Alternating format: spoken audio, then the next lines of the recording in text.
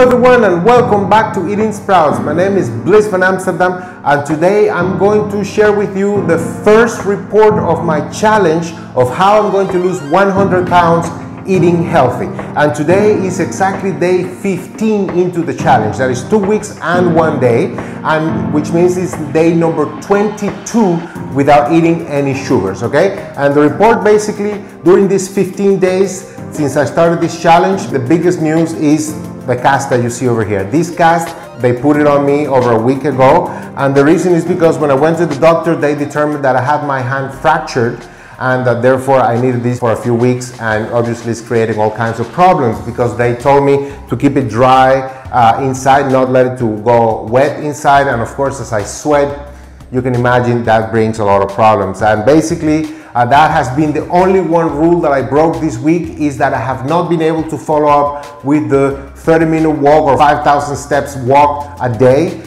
because of this cast. And everything started really well. In fact i walked the, the first three four days I, I, went for long walks more than 5000 steps. I, in fact i did like 10000 steps at the time. And i was really happy. I was counting my steps with my new Fitbit HR, which is my favorite, which I bought again recently, and everything was going really well, except that I got some blisters in my feet, probably because I was using the wrong kinds of shoes, or probably because my feet weren't yet used to walking these long distances. I don't know, but in any case, I took care of the shoe situation because it's very important to always use the right shoe for going walking or exercising especially if you're a heavy person like me. But that is a good information for a future video of how to choose the right shoes when you're going exercising. But for now, basically, I already took care of that. And after a couple of days of recuperating my feet from the blisters, I started walking again and I was really happy. And that's a couple of days later when I went to the doctor and bam, that's when I got the cast. And since then, uh, it has been really bad because as I walk, I sweat a lot. You can understand this is Miami, Florida. This is very humid here and doesn't matter how much you walk outside, you most likely will be sweating a lot. And of course, it could be good for exercising, but it's really bad when you're trying to keep your cast dry. So unfortunately, I had to stop going out at all walking and I've been basically staying indoors, which has been really frustrating because I really I'm enjoying walking. I really want to go out walking. And plus all the energy that I get from eating healthy food rich in minerals rich in energy and all these wonderful things my body's feeling really good really strong. I'm feeling really healthy. I feel wonderful. My body smell is wonderful. That when I smell my clothes after working out it smells grandiose. I really love my body smell and it is incredible. So I'm really happy in that regard, and that is all due to what I'm eating. But unfortunately, I have all this energy which I cannot burn. And this morning I just had enough and I said, That's it, I'm going out for a walk. So I put my new shoes and I went out for a walk and I walked about 8,000 steps and I loved it. I came back, was so happy. But then again, yes, oh, i all the sweat went inside and it got wet, it's still wet and starts smelling not so well. And you see, that's a problem. And unfortunately, as long as I have these, I will probably not be able to walk the 5,000 steps a day as much as I want, as much as I'm enjoying it. That's the one thing that has been a problem. In terms of the foods that I'm eating, I've been doing really well following every single rule. In fact, I haven't even eaten any fish or meat, and I certainly didn't even have my cheat meal these two weeks. I didn't need it. I don't want it. I've been cooking at home, and I have not been starving myself. I eat what my body wants. I drink as much liquid as my body wants. I'm drinking a lot of water and some teas. I'm drinking green teas and chamomile teas, and they're delicious and I'm enjoying myself very much. I'm sleeping really healthy. I'm really happy with everything.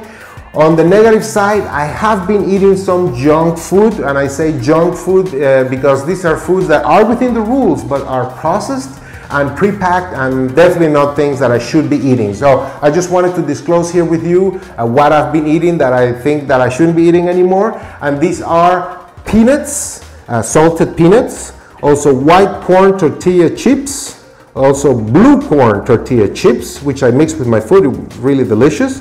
Popcorn or lightly salted popcorn, uh, plantain chips, and vegetable chips of sweet potato, taro, batata, and parsnip, which are delicious, all these vegetable chips. And yes, they have the uh, non-GMO certifications and the organic certifications, and that's wonderful. This is wonderful, but still, these foods are processed food, Some of them are fried, and some of them were very rich in salt, in sodium.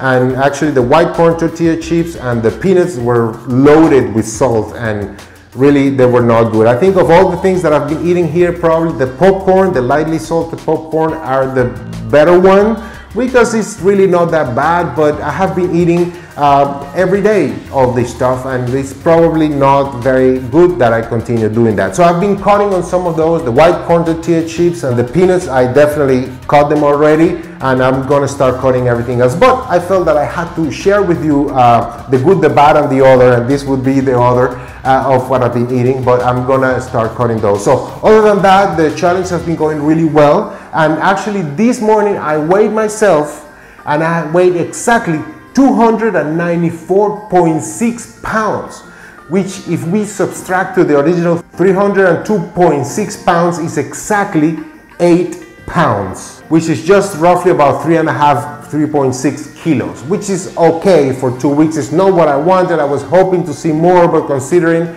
that I have been eating calorie-rich processed foods and I have not doing the exercise that I wanted, then it's probably okay because it certainly represents progress. And then when I measured my waist, I measured 54 inches, which subtracted to the original 55 inches results in a solid one inch weight loss, which is okay. Again, not what I was expecting, but I guess it's certainly headed in the right direction. And basically that's the report for today.